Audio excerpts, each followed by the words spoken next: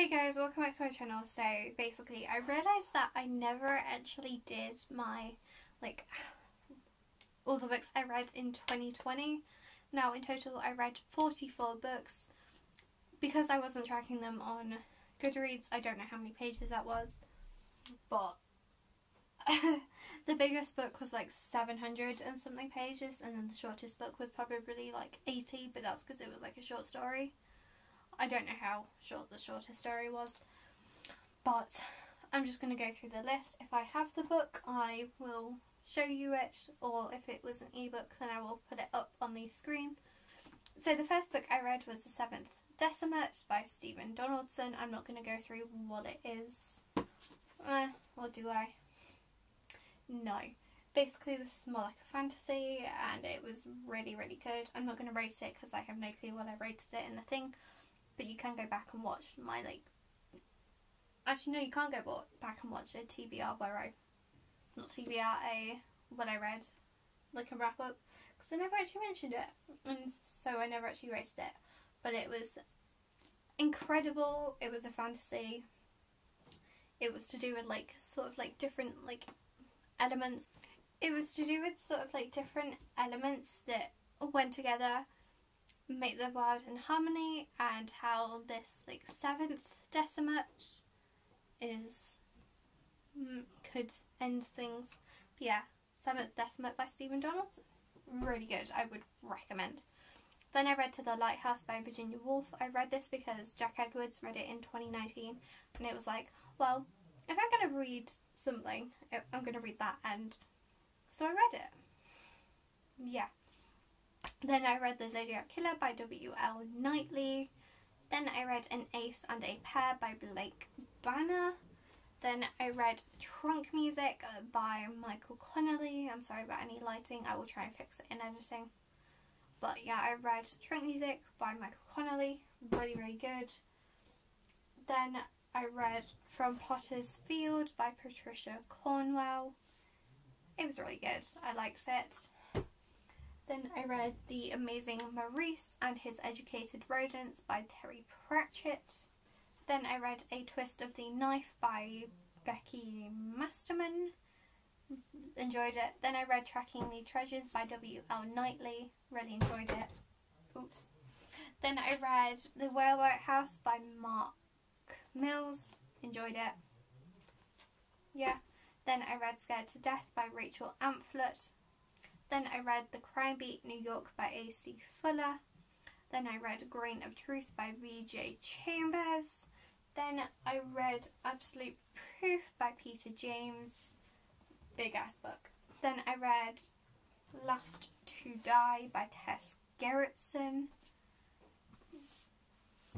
Then I read Better Off Dead by H.P. Mallory. Then I read Justice for Mackenzie by Susan Stoker. Then I read The Word is Murder by Anthony Horowitz.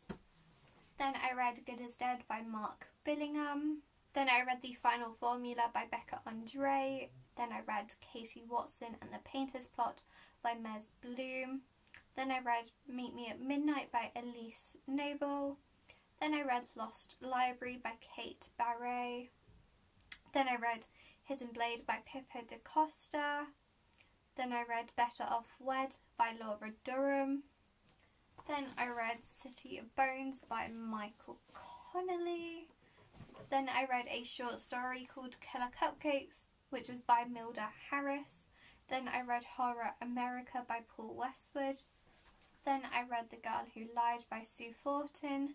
Then I read Ring Around the Rosie by Julian Scott.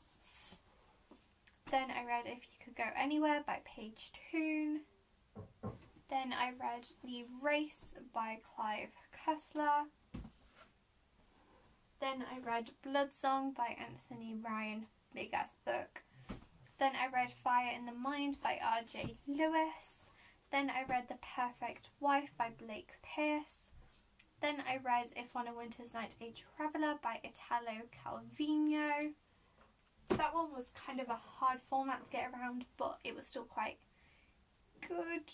Then I read The Watcher by Matthew Hattersley. Then I read Killer Intent by Tony Kent. Then I read Hardfall by Phil Reed. Then I read Crimson Lake by Candice Fox. Then I read No More Secrets by Jack Brandon. Then I read The Sinner by Tess Gerritsen.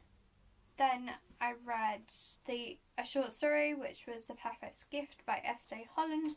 Then the final book I read was To Kill a Mockingbird by Harper Lee. Originally got out one extra book but then I've just realised actually I read it this year. So, as in 2021. So I can't include that yet.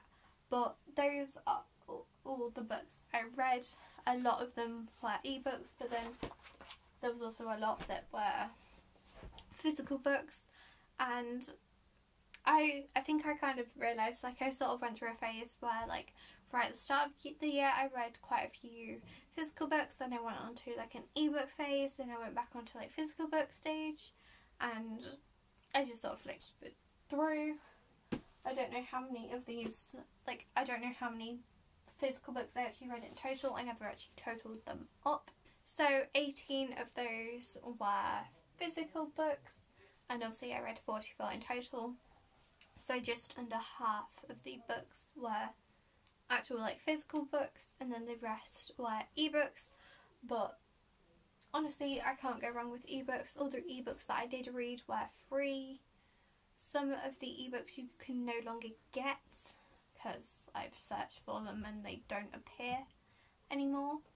Like or like if I've clicked on a book it doesn't appear in store anymore. So, which is unfortunate but it's what happens. But I hope you guys enjoyed this video. Let me know how many books you read in the comment section below. Make sure you hit the thumbs up and let's try and get this video to 5 likes. And also let's hit the subscribe button because for the end of February I'm trying to get to 380 subscribers. So please subscribe and make that happen make sure you comment down below any videos you want to see from me and I'll see you guys in my next video. Bye guys